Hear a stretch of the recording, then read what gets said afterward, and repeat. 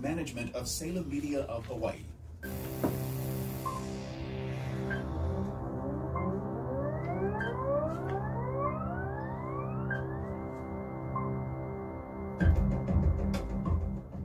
Aloha, and this is Be Fit for Health. This is Bianca, your host. I'm very happy to be here today, as usual. It's another great day for us to celebrate our health and wellness.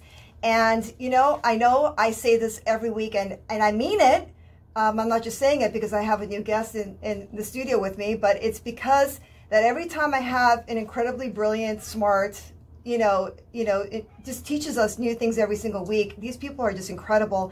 And I'm so excited to, to have today's show because – it is for me to have this doctor, a medical doctor in my studio. I know he's one of the most busiest doctors I know, and he's so well sought after because he's brilliant. And I mean, brilliant is an understatement.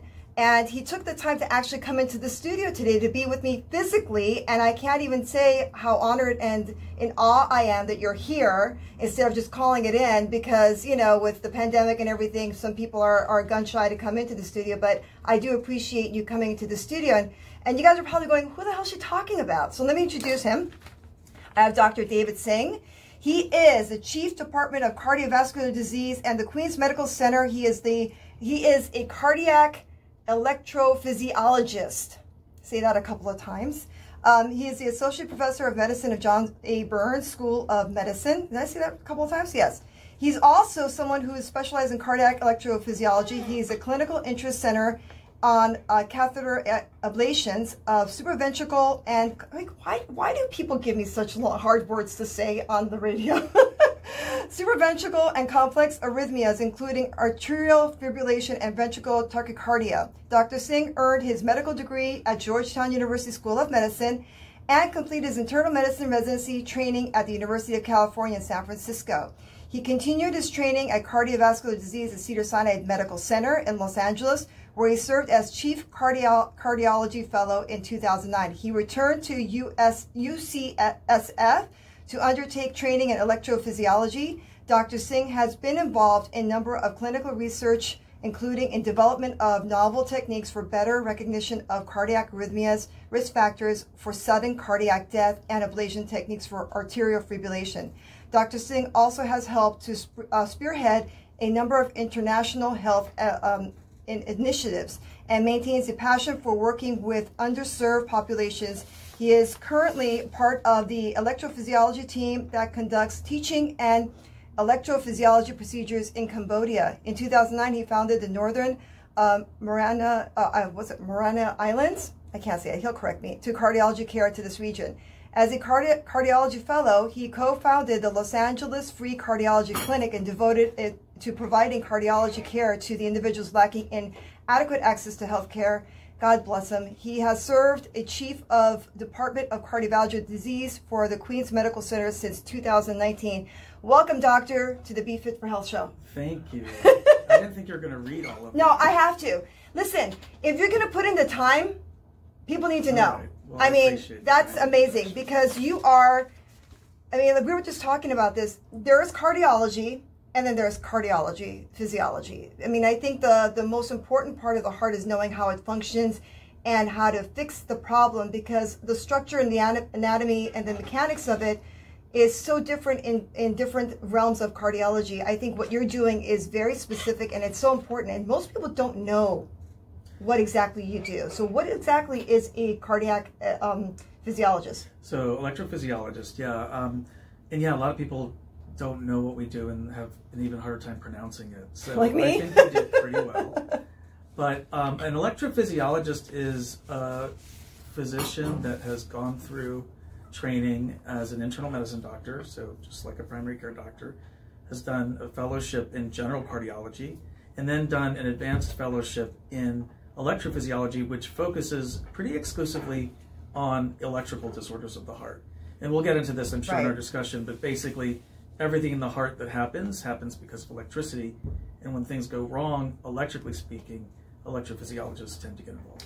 So you basically deal with what types of disorders when it comes to the heart. So, um, you know, cardiomyopathy, what else? Yeah, well, basically there are two basic problems that can go wrong electrically speaking. Okay. One, the heart can go too slow, or two, the heart can go too fast. Okay. And it depends how severe it is, but some arrhythmias, that's what that's the, the technical name for when the heart rhythm that we're supposed to be in goes amok, it goes awry. So if you're having a bradyarrhythmia, that's a heart rhythm that's too slow, and oftentimes we'll use pacemakers and other devices to deal with that. Hmm.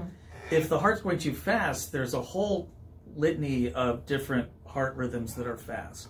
Some of them can lead to death, right? So we have to treat them very seriously. Some of them are just a nuisance for patients, and they end up having to go to the emergency room a lot. So we deal we deal with both, too slow and too fast. And like you pointed out, cardiomyopathy is when the muscle of the heart there's something wrong with that, and the heart is weak. And because everything's connected, not Right. only in the heart but in the whole body, if you have a weak heart, that means that electrically you might be at more risk for certain electrical disorders, or vice versa. If you have an electrical problem, that can lead cardiomyopathy. Muscular. Yeah. Is that it's and it's true for and you, and you're talking to someone who has fibromyalgia, or at least I was diagnosed with it. So, and I know a lot of fibromyalgia patients have a certain heart issue because it's electrical, right? It's neurological. It's so it is it does affect the heart as well. So that's an umbrella for a lot of symptoms. So, you know, when you have someone who has electrical issues that's widespread and you're trying to deal with balancing the heart, I mean, you may have to also figure out how to balance out other parts of the body too, so you can get the heart engaged and going. So my suspicion is, and I'm going to jump into this before we get into the nitty gritty of how the heart function works and everything else, is I was telling you this earlier was that I believe the vagal system started, the jump started the entire fibromyalgia program in my body. So, which is, you know, the disorder. I think I was probably misdiagnosed. I think there must be a, a vagus nerve disorder of some sort. There has to be some kind of a an issue there because I have the slew of symptoms because it goes from the brain to the heart to the lungs to the digestive system and it goes all the way down and it's the longest running nerve and I know that if it's hitting the heart and if I can somehow control the vagal response, maybe I can also control the the PVCs that I have in my heart. I mean, what do you think about that? Um, well, I think you're right on that the body is all connected. Right. And, you know, for better or worse in Western medicine, the way the paradigm is set up, we're really good at some things and not so good at others. We're really good at reducing things down to smaller and smaller pieces. So I'm like a sub sub specialist. I know a lot about a very small aspect of the Right. heart. But the reality is, is you know, I know, and in Western medicine, we also know that everything is connected. So even though you may be looking with a microscope at a very small area, to see the big picture in Western medicine, we're not as good as that. Good Yeah. at that. And so a lot of my challenge is, you know, how do I help patients, but also try to see the big picture. And I think there's an increasing awareness about, you know, different forms of medicine, different traditions of healing, and how they may interact and, and work together to, to help a patient. Yeah, you're kind of part of the uh, sublet of energy medicine. I kind of feel like with energy medicine, the way that they're looking at frequencies, you know, in the body, they're working in the brain, they're working in the body system. It's almost like Chinese medicine when they work with the meridians and how things are connected to each other via nervous system. Um, I think yours is much more westernized, obviously, much more specific, but it's energy medicine seems to be the front lines for a lot of uh, treatments. It's kind of like old school electrical shock system that they used to do to get certain things jump started in the right rhythm way. Um, modern now technology, thank God, is not so intrusive and not so invasive. Um, but um, so let's get to the to the nitty gritty of what you do. So after uh, you diagnose, let's say somebody, what, how would you? Let's well, we can start with me if you like, because that you know you, you're my electro cardiologist, Yes. electrophysiologist, whatever. Too long, man. Um, and you you took me in about a year ago. Mhm. Sounds like a little puppy you took in, right? No, Poor- I took you in as a human. Okay, thank you. Although I did get my first puppy this, during the COVID pandemic. Oh, which what, what type of dog did you I get? got a Pomeranian. Oh, Yeah, I used to travel a lot for work, and that all came to a screeching halt. right, right. I was just sitting at home, and I was You're like, lonely, I want huh? a dog. Yeah. And so I got this really cute Pomeranian, and I actually named my Pomeranian after my electrophysiology mentor. His name is Nitish Badhwar. He's at Wow. Stanford, and so my Pomeranian's name is Tish. Tish. Oh. And he's our official EP mascot. nice. Yes. How come I never got to meet the dog? They won't let me bring him in Oh. just yet, but Come on, man. on that. Come on. Yeah. That's terrible. Okay, well, you know what? That's the best thing ever because my my just okay. Just on a side note, I really do feel like pets also help with calming your system down or the panic attacks that you might get from the mis the the fear factor of what's happening in your body.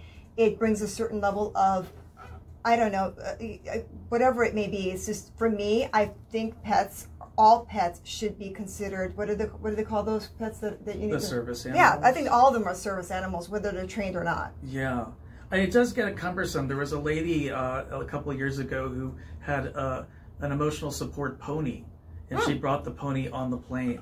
Really? Yeah, you can like look it up. It's pretty weird. Was, was the pony registered? Yeah, Wow. but I mean, it, it's still a pony. Yeah, but how's a pony get trained? I mean, they're smart though. I mean, uh, horses are smart. They are. I So- mean, horses are amazing animals. Yeah. I just don't know that I would want to sit next to one on a plane.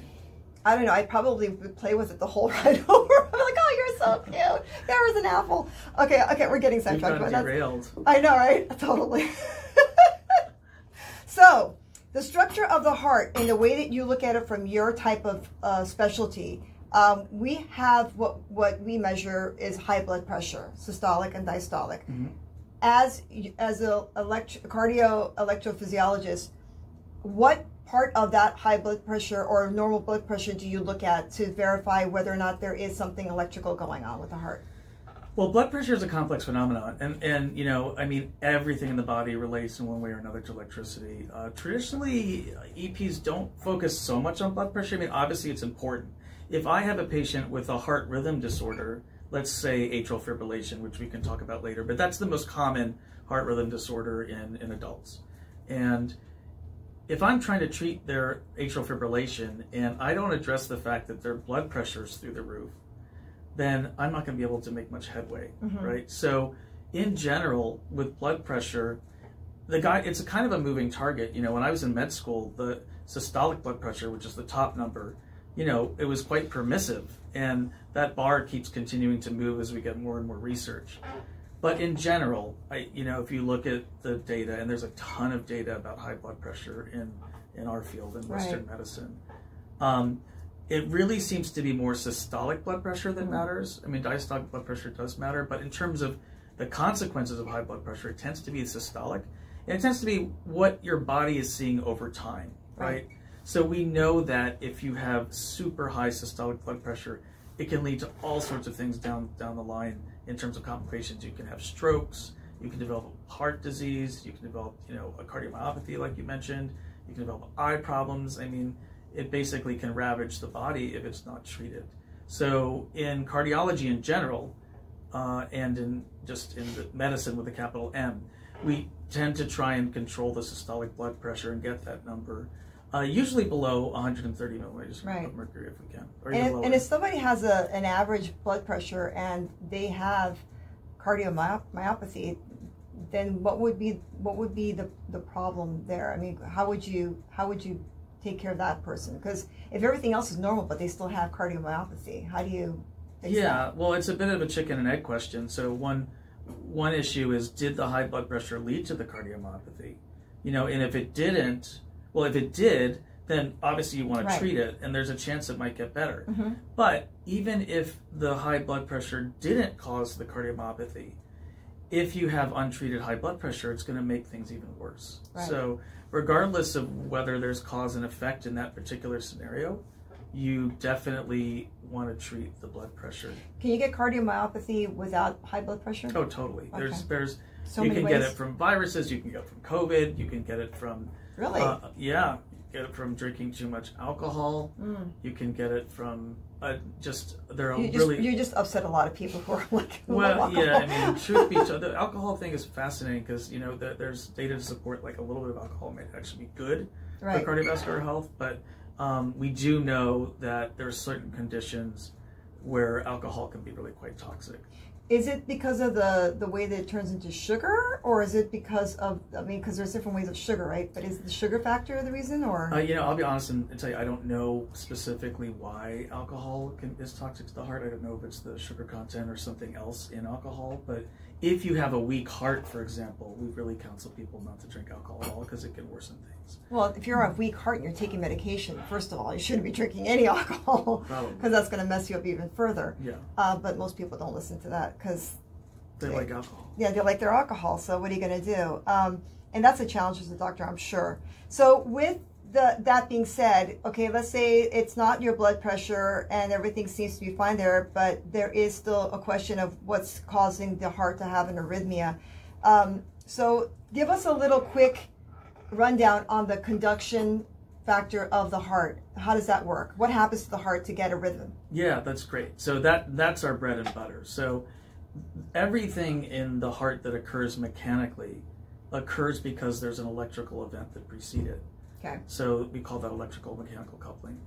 So in the heart, there's something that we refer to as the conduction system, and that just means that in everybody's heart, there are specialized cells that are really, really good at conducting electricity. And it starts up in the right atrium, just to, to break it down, the heart has four chambers Right. a right atrium, a right uh, ventricle, a left atrium, a left ventricle Up and down. Yeah. up and down. And at the top of the right atrium, there's this thing called the sinus node, and that's like the master pacemaker of your heart. So it's telling the heart how fast to beat. It's a really a, a remarkable thing just from an evolutionary standpoint. When you're sleeping, you don't need your heart to be doing much, so it's going to slow down the heart, right? When you when we sleep, our heart slows down because the body knows, and the body is so elegantly designed. Mhm. Really, it's, it is really quite quite a miracle Right. the body slows it down. You don't need, you know, to, to have a heart rate of 110 when you're sleeping unless you're having a bad That'd be really hard to sleep. Yeah, right. Yeah. Or maybe you do. Maybe you're having a nightmare and, and you know you're experiencing some terror and you do. But anyway, but when if you're trying to run a marathon or if you're climbing stairs like I tried you to do today because the elevators weren't working, my heart rate kicked up, right? Because I need my body needs more oxygen. Right. And the heart's a pump. Right. At the end of the day, its only purpose in our bodies in, in life is to pump. pump Yeah. oxygenated blood to every cell in our body. And so if you need more oxygen, the part, heart has to pump more. So that sinus node fires. Now that results in the two top chambers squeezing blood into the lower chambers, which are called the ventricles. That electrical signal travels down to the middle of the heart to another node called the AV node. There's no way for that signal from the top of the heart to get to the bottom of the heart without going through the AV node. So it relays down through the AV node. It hits this um, network of cells called the His-Purkinje system, and as a, as a result of that electrical impulse, the ventricles squeeze. Contract. Yeah, Yeah. And that's how you get the blood out of the body too, right? That's how you get blood I to mean, the to, to the rest of the body. That's yeah. correct. To the Okay. body and to the lungs, because the right side of- of the heart is sending deoxygenated blood Mhm. to the lungs. So when we breathe, oxygen goes into our lungs. The blood passes through the lungs, picks up oxygen, and Brings then it back. gets- yeah. Yeah, well, it's, so it's really interesting because there's also on top of that, just to give it give people an idea how that works. There's like two vena cav- cava, right? There's the, the top part there, Mhm. aren't they? The where one part of the vena, vena cava takes the the oxygenated blood into the heart to get it oxygenated. It's almost like a filter system. It goes like a filtration system, right? I try to listen with every guest I have. I got to learn a little bit so I sound smart. No, you're getting it. And then it goes through the heart system, gets oxygenated uh, through some. Through am I right? And then it goes goes to the system like you were just talking about, and then gets sent Yeah. out to the body. Yep. So how does it? So how does it come back to the to the heart again? So after it's been sent out to the body, how does it come back into the heart? So the pump from the heart is pushing blood in this circuit, right? Mhm. So it goes all the way out to your toes and into like these little tiny, tiny blood vessels called capillaries. All the oxygen is extracted, and then it enters what we refer to as the venous system. The Mm. venous system brings deoxygenated blood back to the heart Got it. And the pump is just pumping, pumping. So it, the blood is just continuously moving. It comes back to the heart through either the superior vena cava, which t- is coming from the top, like from your brain, or the inferior vena cava, inferior vena cava, which is coming from the you know Nice. Because we still have to oxygenate the brain too, right? So yeah, some people more than others. yeah. but, but yeah, so it, it comes back to the it comes back to the heart on the right side, and then the right side of the heart, the right ventricle pumps that blood to the lungs to pick it up. So when you have an arrhythmia where there's a default in either the SA node or the AV node, Right. um, then you're basically messing the pumping system to the body, which will then eventually may cause your muscular system to not function the way it should. Now, there is there is a scenario which I had uh, encountered last year, which is called ejection fraction, Yes. which is the um, which is the process in which my my body gets the blood, the rest of my body gets the blood. How much I guess the heart pumps out the blood to the rest of the body, Yeah, right? that's right. So now is is how do you correct do you go to this do you go to the nodes or do you go to the cells that are that are part of the ventricle system at the final aspect of the conduction system? Yeah, so let's let's. Uh, there are a couple things in there. So you mentioned ejection fraction. What we we in cardiology pay a lot of attention to ejection fraction because it refers to basically how well the pump is pumping. Every time the heart squeezes, a certain percentage of blood is going to be ejected from the left ventricle. That's what's pumping blood to your brain and to your kidneys and your toes and every other part of your body. Now, in a normal person, about 55 to 60 percent of the blood in the left ventricle is ejected every time the heart pumps. So an ejection fraction of 60 65% is normal. And if the heart's super weak, maybe only 20% of that blood is getting out. And so you can imagine if only 20% of the blood is getting out to your body, people feel really bad because their cells aren't being oxygenated. Yeah. Now, in terms of how to treat it, if if the rhythm, well, we, do you want to talk about your? Yeah, yeah, Yeah. you can talk about my PVCs Yeah. because they know. Yeah, My okay. audience knows I have preventricular contractions. Yeah, so you have something called premature premature. ventricular contractions or complexes. And what that means is normally in the heart, the activation of the heart is from top to bottom, Right. right? And that's a very efficient way of having the heart pump. PVCs are when there's a rogue area in one of your ventricles, either right or left side, that just decides to have a mind of its own and starts causing the pump to beat on its own from the bottom up Ooh. instead of from the atria to the ventricles, from the ventricles sometimes back to the atria.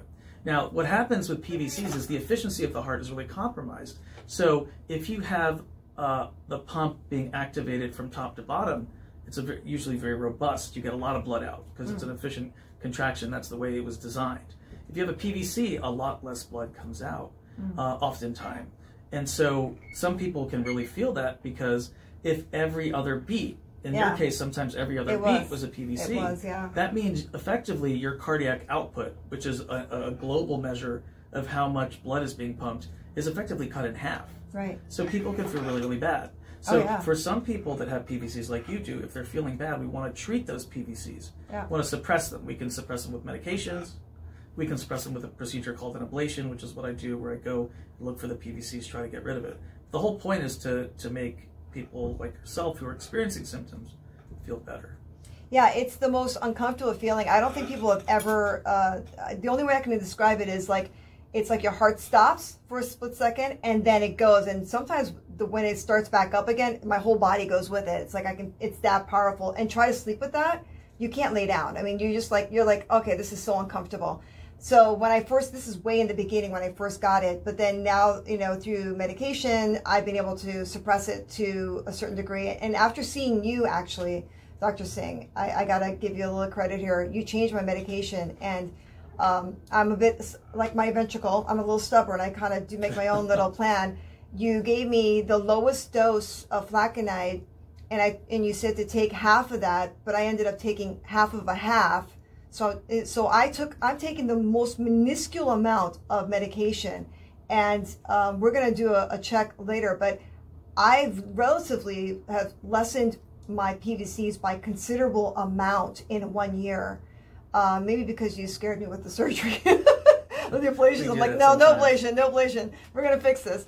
Mind over matter. But that's that's why I kind of went back to the vagal system, and that's why I thought about brain power, uh, controlling the way that my my brain reacts to things, to stress, a fight or flight program, uh, trying to stop the, um, the sympathetic system so that my autonomic system takes, because that's where the healing factors begin in the body. Because you're talking about how miraculous the body is. It is.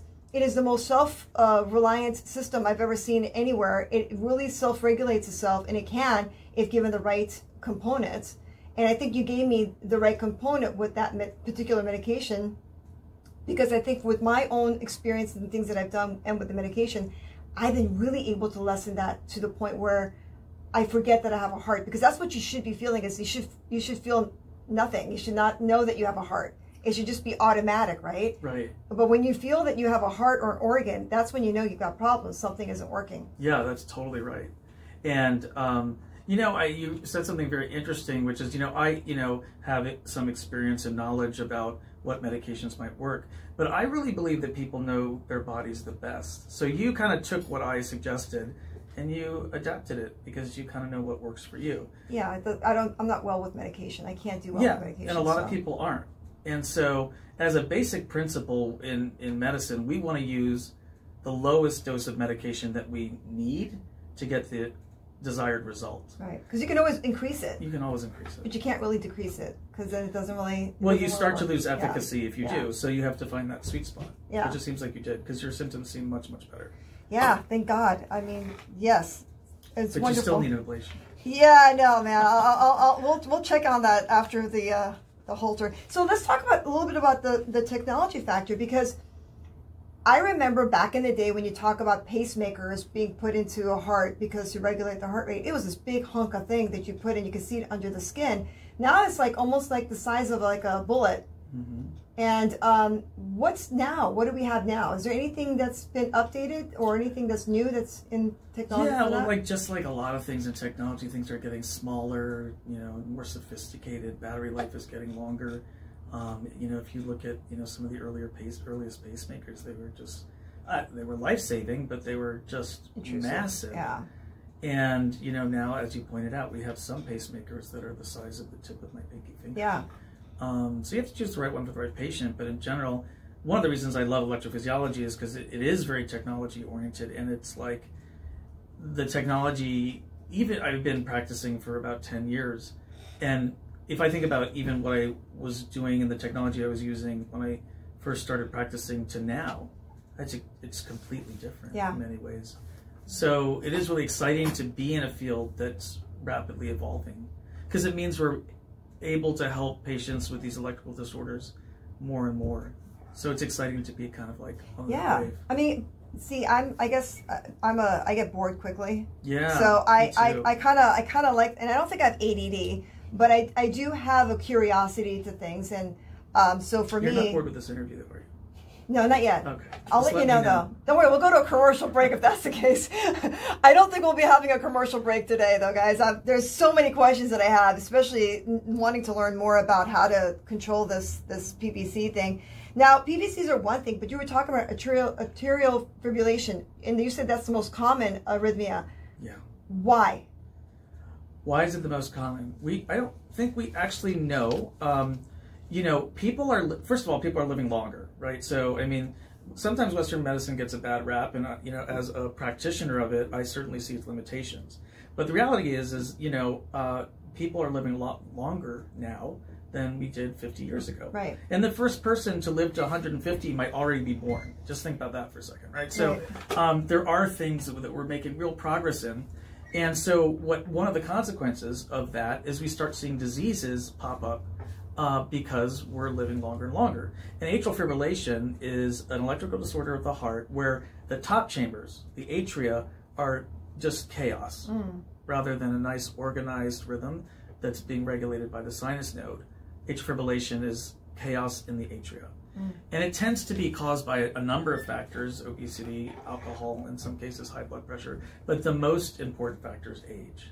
So if you're 80 years old, about uh, uh, so 20% of people over the age of 80 have atrial fibrillation. That's Which a huge is number. which is kind of makes sense though. I mean, things are kind of age. Cells are not. yeah, that's right. yeah. Right. So they get tired. But know? there's a lot more younger people today though having it. They are, and that's a product of a lot of the things that we just talked about. You know, the fact that we don't probably eat as well as we should. Or sleep. Or sleep, totally. Yeah. Sleep apnea is a really uh, Yes. important um, contributor to atrial fibrillation. So, more, you know, one thing we've realized, although I like to do ablations and they can be really helpful for people with AFib, with atrial fibrillation, it's the, the, the in many ways the perfect disease to illustrate that you cannot solve it with a pill or with a procedure. You have to take a holistic approach to it.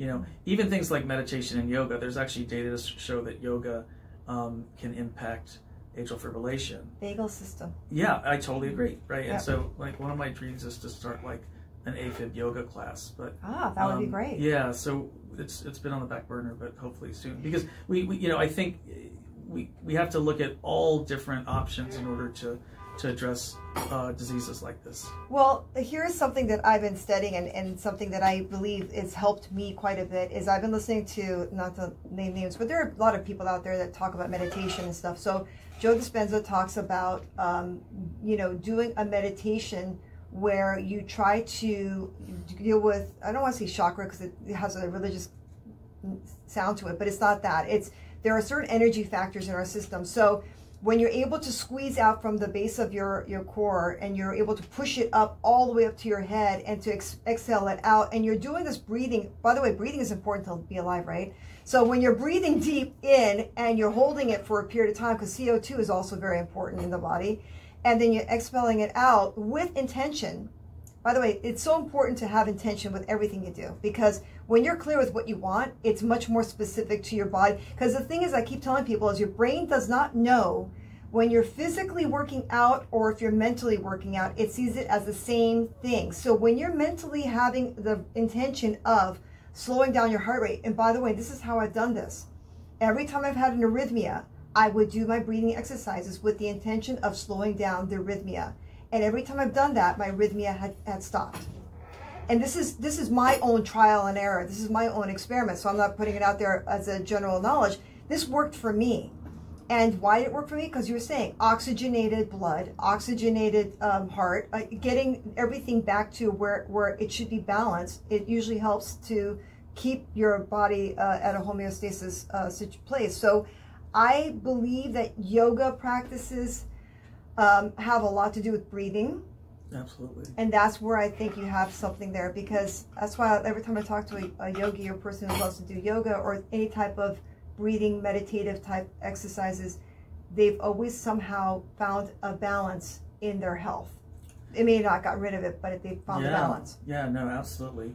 It's funny that you you know you've come back to the vagus a few times. You know, for certain arrhythmias that we treat, fast heart rhythms, we teach our patients to do what we call vagal maneuvers to Nice. activate the vagus node, and uh, I'm sorry, vagus vagus nerve, and that will break the rhythm. So what you kind of just found that out on your own. Right. You kind of just discovered it, but we actually you, we actually teach that to patients in order to help them control their, their rhythm. Most people don't know what they don't know. I mean, the whole point of the show is, and the reason why I created the show is because as as someone who's, you know what, I always have to have somebody who's got a broken system, so to speak, to teach others because you've gone through the trial and error.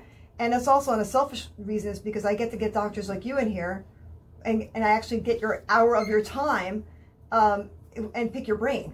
And and that's fun for me because I'm learning. But at the same time, I realize that most of my clients out there, because I'm a personal trainer by trade, they don't know what they don't know and they don't know what to ask. And when they come in front of you, they have no, they don't know what questions to ask you. Yeah. And you guys can't figure me out in 15 minutes. Yeah. You can't figure out my whole system in 15 minutes. I got to know me well enough to be able to say, this is what's happening. Right. This is what I need, I think. What do you think? I agree. We need at least twenty. Yeah. Um, no, yeah, no, but these are the realities of modern medicine. I to, I hear this from patients all the time, yeah. and actually, in, in you know, for, for for for new patients, I really try to take more time because you need to understand a patient. Every patient's totally unique. You know, Yeah. they they can have the exact same disease, but their experience of that disease is totally different than another patient. I mean, just take PVCs for example. You're very symptomatic with your PVCs. Yeah, it was very symptomatic. I have patients that have higher PVC burden than you do. They don't They feel don't it. feel a thing. How is that possible? Is it because, you know what a doctor told me in, in Santa Barbara when I was there, and this is when I got diagnosed? He said, "Oh, I've got good news and bad news. The good news is your heart is a, a heart of an athlete, but you you the bad news is you you have irregular heartbeat." And he goes, "But because you're in such great shape, you're going to feel it more than someone who is overweight or someone who's not in shape because there's there's um, and I and I thought about that. I'm like, that's a weird thing to say to someone. What? Why would he say that to me? Because that, I still don't understand that. Yeah, uh, neither do I uh, so much. I, I mean, there may be something to it. Sometimes, you know, I. But I mean, look, the reality is we don't know. Yeah, I know. We don't know. Atrial fibrillation, exact same thing. I have patients when they're in AFib, they don't want to even get out of bed, right?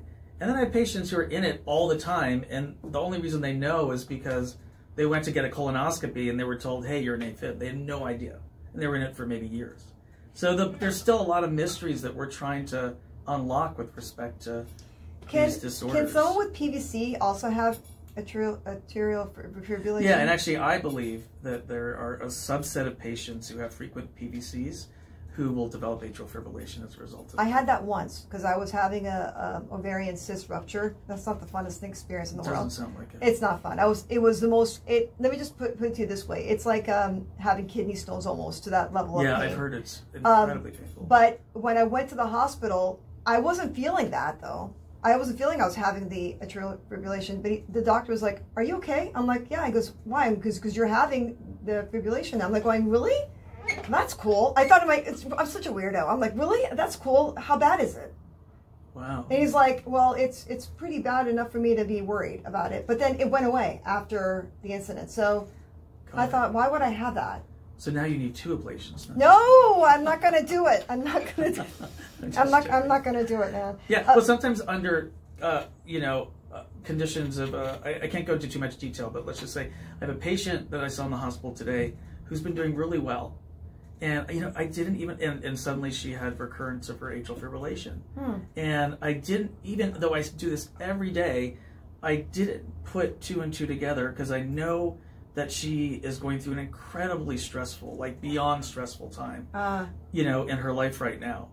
And I was thinking, why is she back in AFib? And then I realized, oh my God, like she's dealing with this incredibly she stressful stress situation. management then. Yeah, everybody does, Yeah, right? oh, we and all do, so, yeah. and I have patients that are uh, in terrible shape with respect to their heart rhythm, and then they retire, and their heart rhythms just get better. And the, you know, just the day-to-day stress of the work that they were doing Yeah. was so profound that it was making their heart broken. It was breaking their heart. And then they Yeah. take a step back. They're retired. They're doing, you know, whatever else they're doing. Or they're unemployed like me uh, right now because of my company closed down, and I've been. I haven't really been working that much except for doing the radio and some of my clients, but. Um, was that stressful or not stressful? It was stressful. Yeah. But I noticed that when my stress went up, I got I had a lot of flare ups. yeah. I had a lot of flare ups. And being at home now with my animals, um, I realized that even though I'm stressed out just a little bit, but I've learned to control it, um, maybe that's why my PVCs have gotten better. I, I, I think it's probably true. And, and, you know, and, and the reality is, is it's easier for many doctors to prescribe a medication than it is to tell them to meditate. And it's easier for a patient to take a medication than it is to be devoted to, let's say, yoga or meditation or whatever. Yeah. The reality is, is there's room for both and a need for both. You know, I, I mean, there's a, there's definitely a role for the right uh, patient for things like ablation medications, but you know, things like weight loss. You know, let's uh, looking at the data for weight loss and atrial fibrillation. If you lose just 10% of your body weight and you have AFib, that's as powerful as taking flecainide. You know? Yeah, yeah. And so, but how do you, you know, I mean, obesity is not a choice. People, no one chooses to be obese, right? So it, then it gets back into like the kind of food that we're eating and Yeah. the availability, you know. So it, it, it's it's it's a big big problem, and um, it it has far-reaching effects. You know, our health is is um, it's not a simple matter. So I know that with arrhythmias, there is a side effect too that can also be a part of um, an unwanted side effect, which is enlarged heart. Yes. So how do how do you uh, combat that? Well, it depends on the cause. So if the rhythm, so let's take PVCs for example. In some patients who have a lot of PVCs, that will cause the heart to enlarge, right? And so, and it can cause a decrease in the ejection fraction. So if the PVCs are the cause of the enlarged heart, then I have to get rid of the PVCs. And if I get rid of them with either ablation or medication, most times the heart will shrink back down to its normal size, Oh, interesting. and the ejection fraction will get better. Is, is it like a bicep? It just goes back. It gets small when you don't use it as much. Because you're working harder when you have an arrhythmia, right? Your heart's working harder. So Yeah, um, it's, it's, it's a little bit similar. Where I'm trying to trying to make this work. you're trying to help me out Yeah, here. actually, no, it's No, it's not okay. it's okay. This is a good try. I know. Listen, I'm trying. I, You're doing great. I know. I, I, I like I said, I, I try to. I, I've had this a long enough since 2007, this uh, PVC that I've I've become uh, uh, you know, uh, knowledgeable on a lot of things. Yeah. So um, because I have to, because I can't really expect you guys to figure this out for me. I mean, you guys can, but you can't do it if you don't know the right information.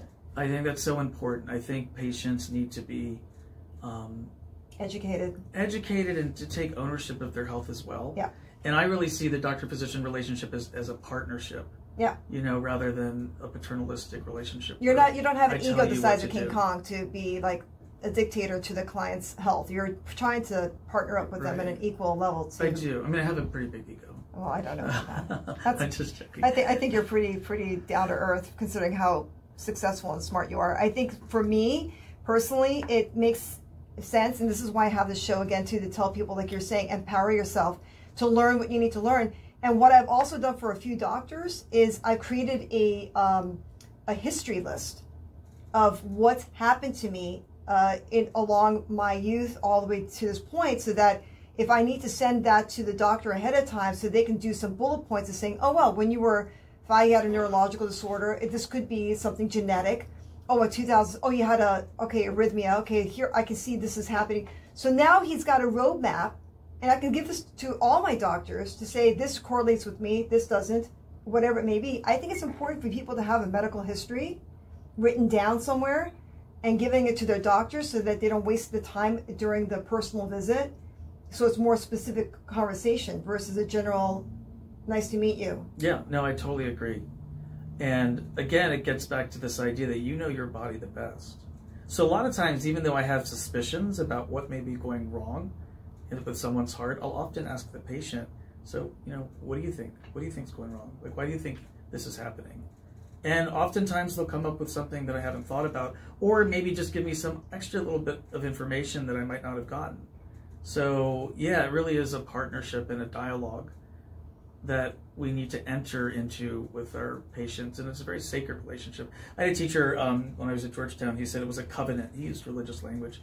Uh, Georgetown was a was a Catholic school, but it, covenant being that there's something sacred about that relationship between a healer and someone that's coming to you to be healed, and whereas I think in traditional Western medicine there was this sort of hierarchical. There's a space, yeah. Yeah, I we you know I think it, maybe it's a generational thing, but I think um, I think at least in my practice I try to engage in, in more of a partnership. Well, you can't be a very good doctor if you can't connect to the people you're trying to, to teach or to understand what their issues are. I, I mean, same thing was as a as a trainer.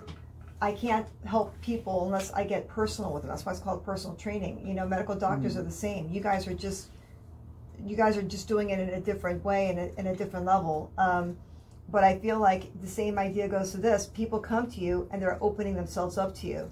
They're exposing their most private, you know, thoughts and feelings, and they're trusting that you're going to help them. And you can't, uh, you know, and, and a lot of times I feel bad because, and this is why, like I said, I have the show. I really want to help people understand their bodies. That this isn't just about taking medication. I agree. I mean, you can't. You can't fix everything with a medication. Um, but what you can do is eat better, sleep better, um, exercise enough, not overly exercising, but enough, um, so that you're stressing the heart to a certain level, but not to a point where it's it's exhausted and it doesn't want to function anymore. Yeah, no, that's right. Um, and again, I you know we're really good at the reductionist model. You know, someone's got this little circuit in their heart. I can go in, ablate them, cure them, they're done. You know, no, it doesn't not a problem anymore. But most diseases actually aren't like that because they're the, the they're connected to a whole range of other things. And unless you address all of that other stuff, chances are you're not going to really impact the disease in any meaningful way. So taking holistic approaches to uh, these kinds of problems is, is really essential in most cases. So you would recommend some kind of like stretching yoga like type classes for those individuals who are highly stressed. Maybe maybe you know what I would suggest. Just you can suggest your thing. Is I've gone on YouTube a lot, and in YouTube there's a lot of guided meditation type um, videos. Yeah, I mean, what uh, technology is a double-edged sword, but one of the nice things about you know everybody having a smartphone in their pocket, you know, is that you have access to that kind of stuff. I mean, there are a bunch of meditation apps, uh, Headspace. I Um, Headspace, that's a one good one. called uh, Waking Up with Sam Harris, um, and you, you have access to, to this kind of stuff at, at your fingertip. Um, one of my dearest friends uh, from California has been living with me um, for the last uh, several months, and um, as we speak, she's been doing a meditation uh, uh, course with a guru in India Ooh. right? So um, I don't know if Helen's listening right now because she's probably meditating, but every day Um, she, yeah, she's like doing this meditation, and then you know, there's I, I don't know how many because I'm not in the course. Maybe let's say 20, 30 people it's virtual. from all around the world Nice. talking to this like guru in India and asking him questions about the meaning of life. So the technology uh, oh, so amazing. is you know has immense power if we choose to use it in the right way. And I do believe that we are our own creators, and I do believe that we can make our own um, reality to a certain degree with our thoughts. And people don't realize this. The power of thought is is amazing. And like I said, your brain, you have the brain, and then you have the mind. And your mind is more like your soulful self, and the brain is the functional part of your your your, your structure of your of your brain skull. And I always tell people that if you're able to, because I do a lot of life coaching and health coaching stuff for people, it's like if you can just stop for one minute every single day, start with a minute, and just be mindful and just be and breathe in and start thinking about what it is that you want, not what you don't want, what it is that you want, and just breathe that for a minute, and then start going into it for five minutes and ten minutes, so that when you have these stressful moments, which at some point when I go back into the workforce again, and I end up having these these stressful moments, you got to start empowering yourself with the ability to deal with the stress. How are you going to do that? It's by going back inward, understanding who you are, what you want, and how how you want things to turn out. And then sometimes you might find answers to things that are happening to you. Um, and the only reason why I'm talking and letting you talk is because this part of, of my existence, because I'm the patient, I've had to figure this out on my own to figure out how can I get stronger and healthier and better for my life because I want to live another 40, 50 years if I can. I'm 50 now. I'd like to be 100 maybe, but healthy 100, not broken 100, you know? Yes, absolutely. Any other advice that you can give us? I think, you know, it's hard for people to process information from doctors a lot, you know, and and I know of myself when I go to a doctor, and I'm a doctor. Actually, I probably should go to a doctor more often. But I get tongue Just look in the mirror. Yeah. Hi, doctor. How are you doing? You know, and so I think reinforcing that idea that you have raised so eloquently about really taking ownership of your own health, you know, and when you're in a doctor's office, you know, sometimes it can be hard because we're throwing information at you and it, we're speaking a different language and even though we're Right. trying to, to to to channel that language in a way that patients can understand sometimes you know it's it's hard you know it's hard Yeah. to, to understand and it's hard to know where your patient's head is at a lot of the time and that's Right. really the art of medicine so the more you know as a patient about your own condition um, really the better off you'll be now that does not mean you need to come into our office with 600 pages printed out from Google No, no, that's not, no. You don't want that. I will cry. Highlight it. Footnote. Footnotes. Yeah, footnotes work. Yeah. Yeah. I think I um it's it- well, you know, it's at the most part. I think I, I appreciate your your your being so um, humble with with what you do. I think you are very good at as a patient factor. You're very good at explaining things. Um, maybe I'm a little bit more informed than the average person, but I do feel like um, I think the basic knowledge would you, would- you would do well with. I think most people would understand you. Um, but the problem is most people don't want to hear it either. That, yeah, that's true. No, and They don't want to hear the truth. Yeah. some people don't, and you know, you do your best.